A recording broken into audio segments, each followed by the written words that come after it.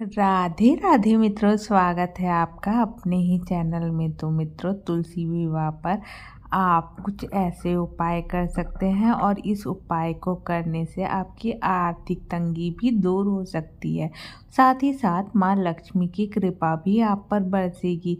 तो वो कौन से उपाय हैं जो आपको तुलसी विवाह के दिन करने हैं? चलिए आपको मैं बताती हूँ।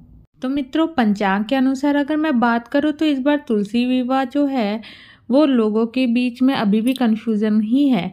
बारह नवंबर को भी एकादशी वाले दिन भी लोग तुलसी विवाह करना चाहते हैं और तेरह नवंबर को भी द्वादशी तिथि पर भी तुलसी विवाह की जाएगी। तो धार्मिक मान्यता है कि सच्चे मन से तुलसी माता की उपासना करने से जातकों को धन लाभ के योग ज़रूर बनते हैं। अगर आप भी अपने जीवन को खुशहाल बनाना चाहते हैं तो तुलसी विवाह के दिन आपको बहुत से ऐसे उपाय हैं जो आप कर सकते हैं। पर उससे पहले मैं आपको बता दूँ कि तुलसी विवाह का जो सही मुहूर्त क्या है।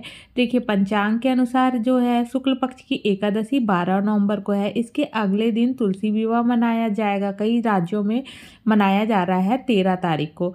शुक्ल पक्ष की द्वादशी तिथि के अनुसार। आइए मित्रों, अब हम जान लेते हैं तुलसी जी के उपाय। अगर आप तुलसी माता का आशीर्वाद पाना चाहते हैं तो तुलसी विवाह के दिन विधि पूर्वक से जगत के पालनहार भगवान विष्णु और माँ तुलसी की उपासना करें। कच्चे दूध में तुलसी दल मिलाकर भगवान विष्णु का अभिषेक करें। इस समय आप नियमित मंत्र का पाठ करते रहें। ऐसा माना जाता है कि इस उपाय को करने से धन संबंधी समस्याओं से छुटकारा मिल जाता है।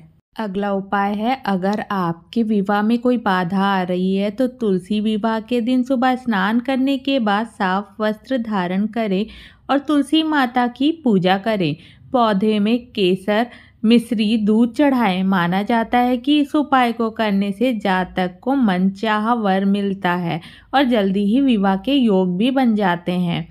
अगला उपाय है आर्थिक तंगी के लिए। अगर आपके जीवन में आर्थिक तंगी आ रही है तो इस समस्या से मुक्ति पाने के लिए तुलसी विवाह के दिन तुलसी के पत्ते को साफ़ लाल कपड़े में बांधे।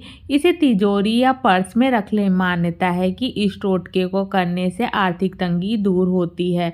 और जातक के जीवन में धन की कमी नहीं होती है। तो मित्रों, ये कुछ ऐसे उपाय हैं जो आपको तुलसी विवाह के दिन ज़रूर करना चाहिए।